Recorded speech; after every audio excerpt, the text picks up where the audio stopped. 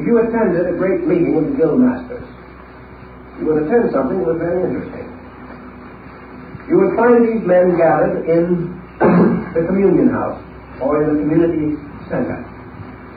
And here, on certain intervals, prescribed by their laws and their traditions, they broke bread together. And because not one of these was greater than another, they were seated around a circular table. And in the midst of the table was the guild cup. And this guild cup had on the on the lip, all around the edge of the cup, little hooks.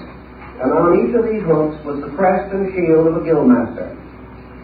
This cup was filled with wine, and each of the masters drank from the cup, performing a ritualistic Eucharist and rededicating their lives to the great service of the architect of the universe.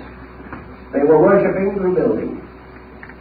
Their laws were their own, their secrets were inviolate, their mysteries were perpetuated.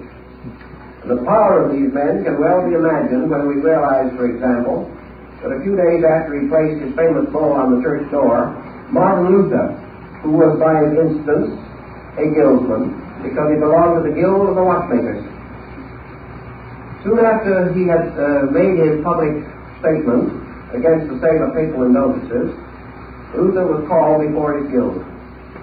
and here in solemn assembly, he was placed under the protection of the guilds and given a medal, which must always wear, and which he should show in time of emergency.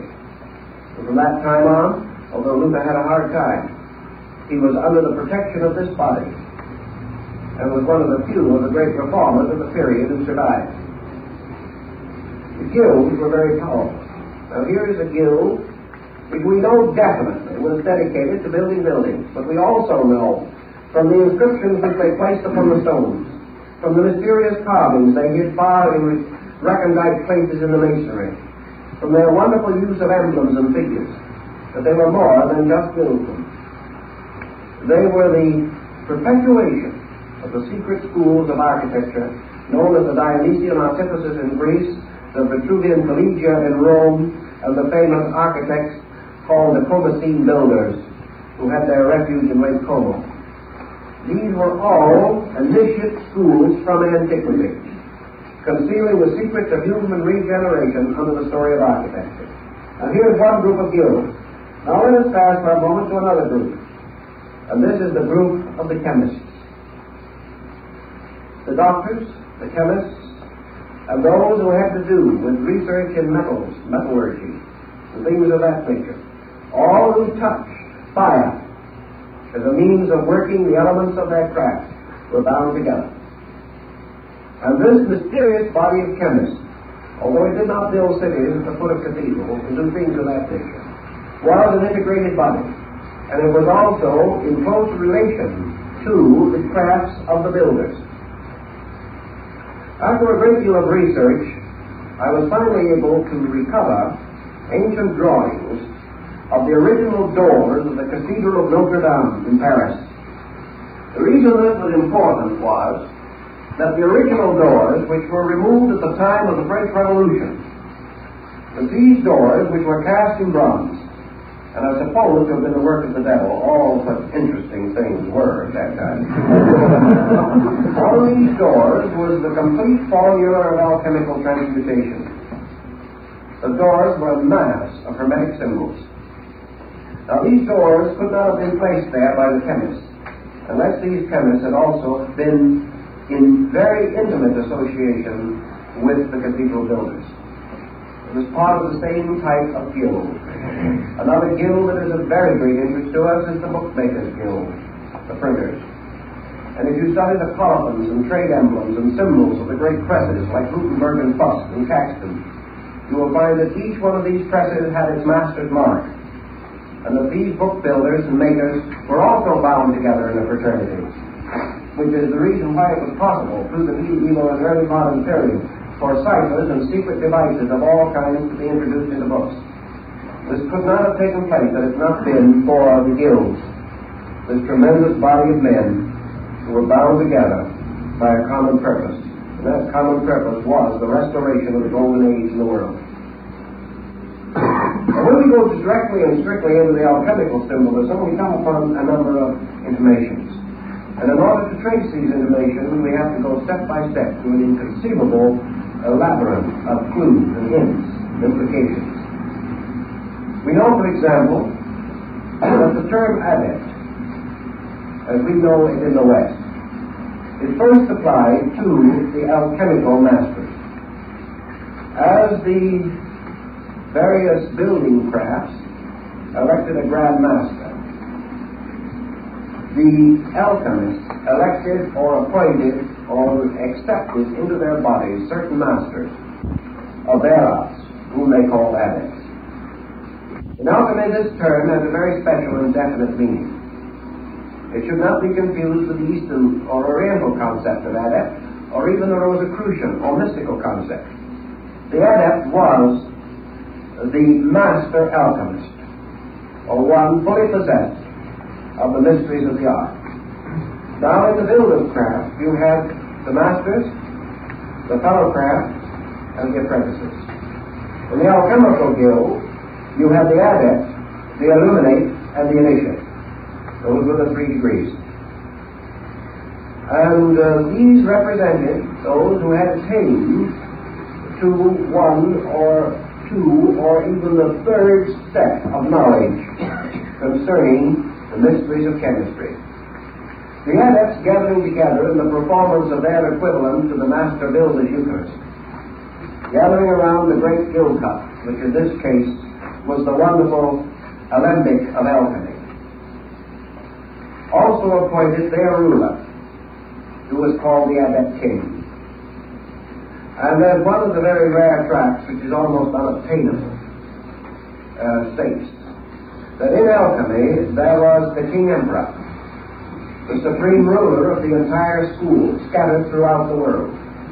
That under him were the princes of the blood, the highest adept masters.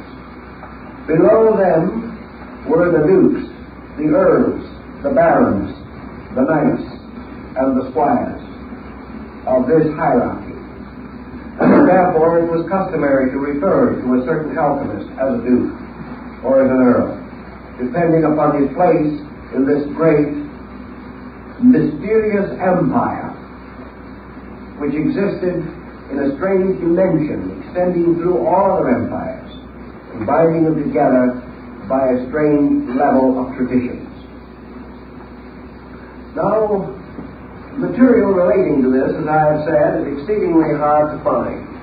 We find a few references in of it uh, to it in Khunrath, a very early alchemical master. And we also find references to it in a work called The Adepts in Alchemy, a very interesting and early work. But uh, in wandering through one of the old libraries of Europe, I was able to find this manuscript, which perhaps comes a little nearer to some of this problem than we will find anywhere else. And as far as I'm able to find out, this is the only copy of it that exists. And this is called The True Adepts, Illuminates, and Initiates of the Hermetic Arts. This is in the form of a kind of uh, biographical uh, glossary. It is almost in the form of a certain biographical who's who in alchemy. And from the first page of this, we learn the definitions as they were used within the body of the alchemical school. The term adept is properly applied to one who has learned the great work and who has performed it. That is the proper term for an adept. The term illuminate or illuminist is properly related to one who has experienced the mystery of the work, but does not know how it is performed. This is a rather curious uh, differentiation. The term initiate is one who has achieved to the knowledge of the method, but has not performed the work.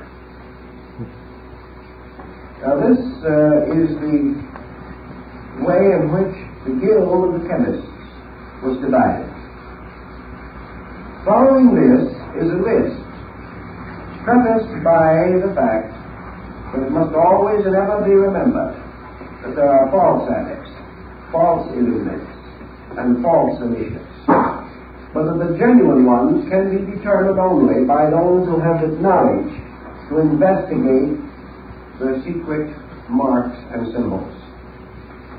Then we have here a list of the adepts of the school, both imaginary and historical, and also the degrees of their development within the school.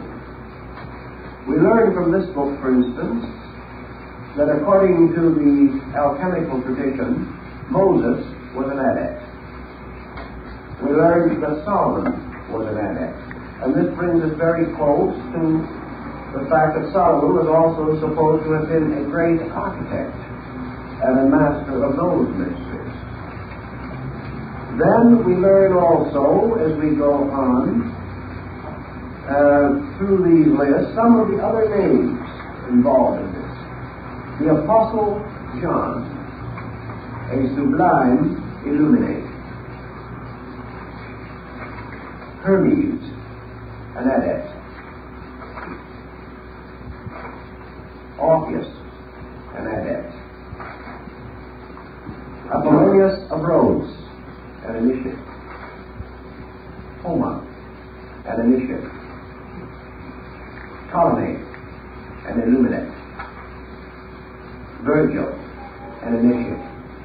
You can go right down through this book, and you will find all of the principal names and their ranks in the school. Also learn that Avicenna was an initiate. Albert the Great, Albertus Magnus, was an adept. St. Thomas Aquinas was an initiate. Roger Bacon was an initiate. Raymond Lully was an adept. I won't try to read them all because many of the names are not particularly important to us now. But this work carries on through all of the different steps of alchemy, pointing out that these different teachers, masters of the schools, were actually bound together in a pattern. Now, when we take an alchemical tradition and we come to the discovery that it includes Orpheus and Homer, we know that we're not dealing with chemistry because these men were not chemists we were dealing with an esoteric system of which the alchemical schools in Europe were comparatively recent development. Virgil and Illuminate. Michael Maier One of the interesting things we find as we go along through here is that a number of names that are a little better known to us are also to be found.